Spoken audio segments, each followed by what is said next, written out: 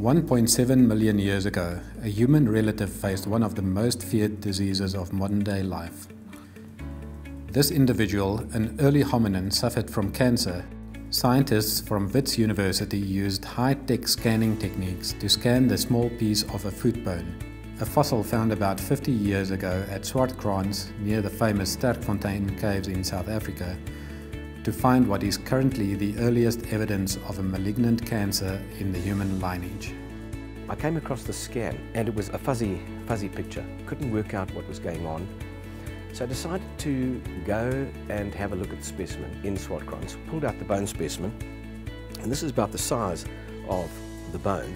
It's a small foot bone and we used micro CT. We got an absolutely crisp message. When we zoomed in on the actual medullary cavity, which is the, the tube, the, what is so-called the, the, the, normal empty tube of the bone, it was completely filled with new bone uh, formation. It was this osteoblastic type of, um, or this expansive bone, this new bone formation that was in the medullary cavity that led me to say, hang on a second, this is something different. This is abnormal. Patrick, what's going on here? And he looked at it and he said to me, I think you've got it. Bingo.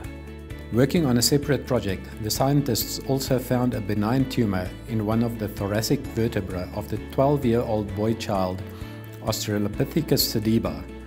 Tumors are localized. Um, there is a control mechanism in terms of the growth of the, of the cells, of the abnormal cells, um, and they don't have the capacity to uh, continue expanding and they don't, what we call metastasize, they don't spread to other parts of the body. Whereas cancers, um, otherwise known as malignancies, do, and that can be life-threatening.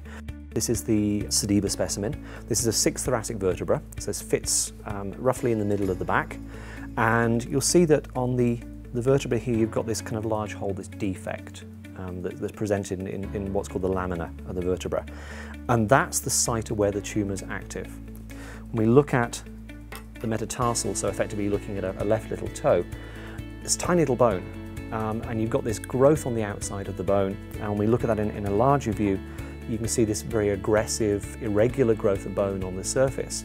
Um, but what, what's more important is that that aggressive new growth of grown has actually spread into the medullary cavity um, and has obliterated that.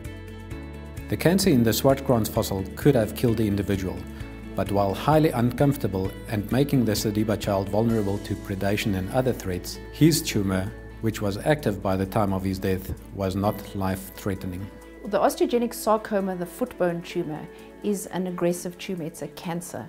And that, apart from being locally aggressive and destroying the bones that it invades and it takes over, can actually metastasize. It can spread throughout the rest of the body. So the individual can get effects in the lungs and other parts of the body.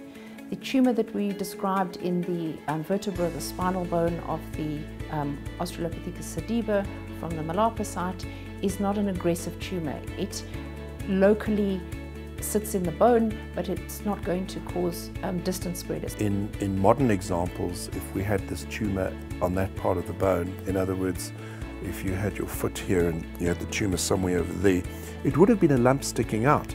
And that would have uh, uh, had, had an influence because the way we strike the ground and the way our foot strikes the ground on the outside, it would have made contact and uh, probably would have been very uncomfortable and probably quite painful. Research shows that the disease is part of our history, something that we can't escape. Recent studies on Egyptian mummies fail to identify traces of cancer. Um, and it leading some researchers to suggest that it wasn't present in the pre-modern world. This study falsifies that. So the capacity for neoplastic disease, for tumours and cancers, may well be very, very old. What we've done today is effectively generate an environment whereby um, our lifestyle uh, and our longevity creates problems for ourselves um, by exposing us to dietary toxins, environmental toxins that we would not have been exposed to before the Industrial Revolution. You know, if you take um, prostate cancer, uh, would occur in pretty much every man who gets old enough if we men get old enough, we will get that cancer, or at least some prostate problems. With technology constantly improving and becoming more affordable, Scientists expect research like this will break open the understanding of who we are, where we come from, and possibly overcome some of the challenges of modern day life. We only really have discovered what was going on by the application of new imaging modalities and new techniques. Um, and part of me wonders whether or not um, more of this material is basically waiting to be discovered as we uh, are capable of looking inside fossils, not just of hominins but of other animals, where these kind of conditions are waiting to be discovered through the application of new techniques.